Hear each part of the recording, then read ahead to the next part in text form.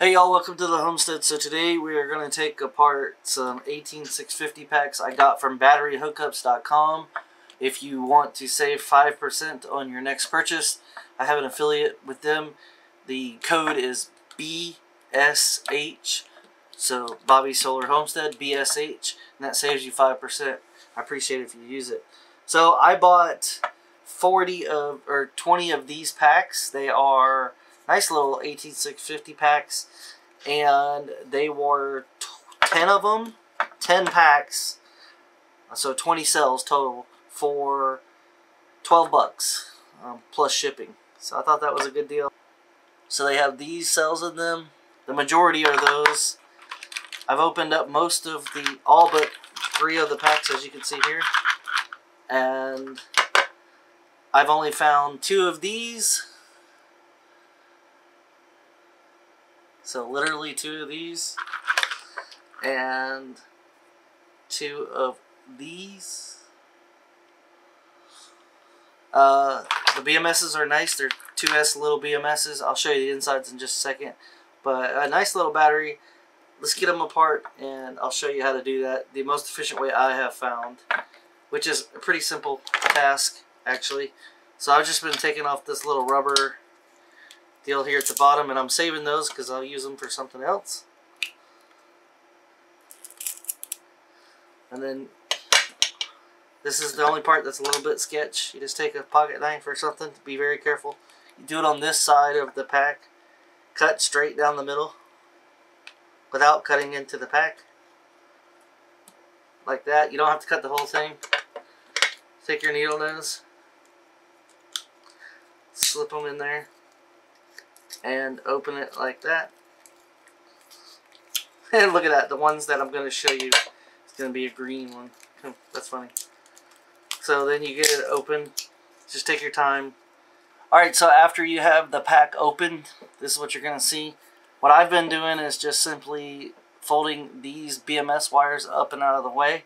And then right here, which this one's already broken, but there's a negative wire that's coming up to here, to this side of the battery just take your pliers and break it or cut it or whatever you want to do. And that disables the, the pack. It makes it a little bit safer to work with. And then I'm just flipping these around. Taking my pliers and just clawing that up. And just ripping that up. And then the BMS is underneath here. Underneath this thing. So what I've been doing is putting the the wires that are coming out the back of the BMS down towards my finger and I got a plastic like scrapey thingy here. And I just slide it in behind the BMS like so. And just fold it up. And that way you don't break the BMS or anything and you're not going to short anything out because it's plastic. And that's going to expose your terminals underneath there. And then obviously just put your pliers on there and rip that out